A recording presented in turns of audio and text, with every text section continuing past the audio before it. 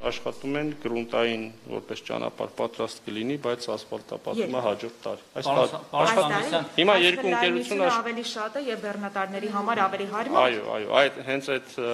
նպատակով, այդ մտքով է կառուցվում։ Պարոն Սանոսյան, Գորիս Կապանի հետ կապված ես խնդրում եմ մի քիչ հստակեցնեք երաշխիքներ կան, որ այդ ճանապարհը հատկապես այն վիճելի հատվածները, որոնք 30 տարի վիճելի չեն, հիմա չգիտես ինչու դարձան վիճելի, այդ հատվածները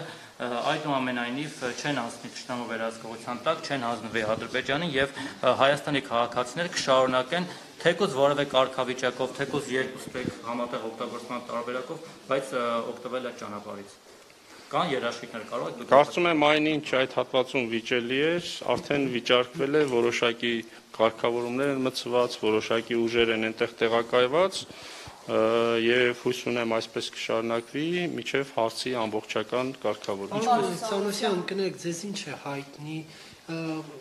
ենթադրվող երակողմ հանդիպման մասին Փաշինյան-Պուտին Ալիև եւ ինչ փաստաթղթեր է ստորագրվելու եւ արդյոք մենք անկլավներ փոխանցելու ենք Ադրբեջանին թե ոչ դուք ասացիք որ ամեն ինչ գիտեք կխնդրեմ ձեր իմացածի գոնե մի փոքր հատված ներկայացնեք որ հանրության մոտ այս անորոշ վիճակը չշարունակվի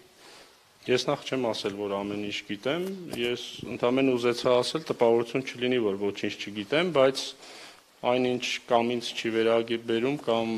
դրա մասին խոսել պետք չի, ուղղակի չեմ խոսում։ Դրա մասին է խոսքը, հանդիպմանը թե փաստաթուղթ նախատեսված է թե չէ, տեղյակ չեմ, կարծում եմ միջև այս պահը չէ։ Բայց ավել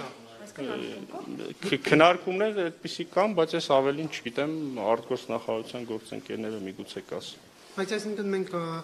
տարածքների հնարավոր է զիջումներ նոր ունենանք։ Որտեղից եք դուք այդ մտքերը արտաբերում։ ասում են, որ դեմարկացիան եւ դելիմիտացիան չի կարող լինի առանց ցավոտ փոխզիջումների։ Հա, նայած ու մոտ ավելի շատ ցավոտ կլինի։ Հիմա պետք է հասկանանք ինչպես կանցնի դա։ Ցավոք սրտի մենք մինչ այս տեսել ենք, որ մենք ենք այդ ցավոտ զիջումները միշտ իրականացնում։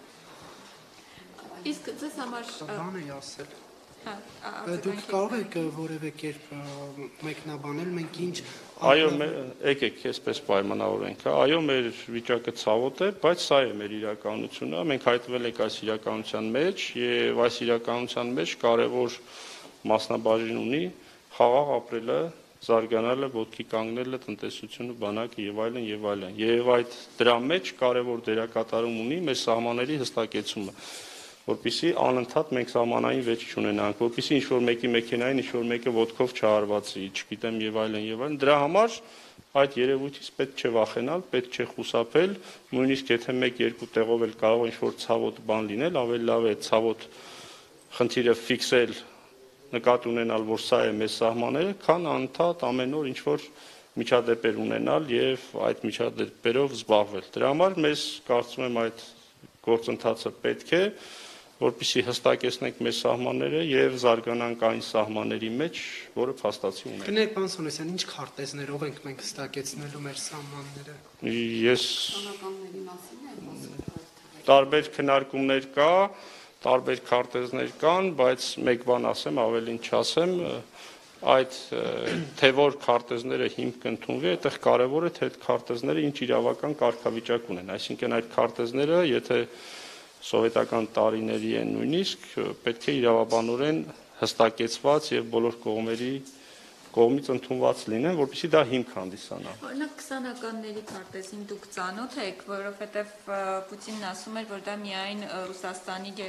գշիում է պահվում։ Անդրանիկ Քոչարյանը անցած Բա որ Ռուսաստանի գշիում է պահում, ինչ եք ենթադրում, որ ես ծանոթ եմ։ Որ Անդրանիկ Քոչարյանը հերքեց Վլադիմիր Պուտինին, ասաց մեր մոտ կան բոլոր քարտեզները։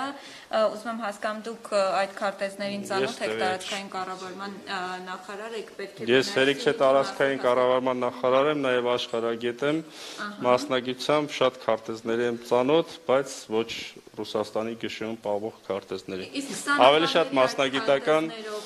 կան